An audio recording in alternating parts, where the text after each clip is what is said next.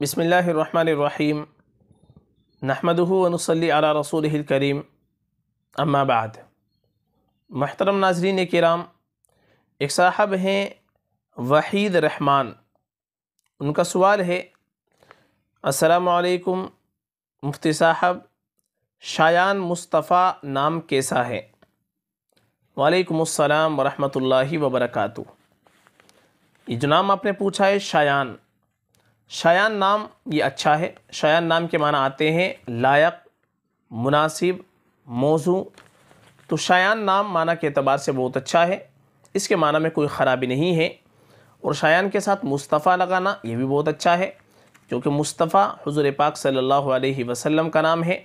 مصطفیٰ کے معنی آتے ہیں منتخب، چنا ہوا۔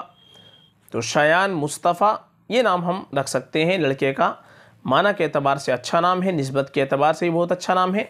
شایان مصطفیٰ نام رکھنا بہت بہتر ہے۔ یہ نام ہم بلا کسی تردد کے رکھ سکتے ہیں۔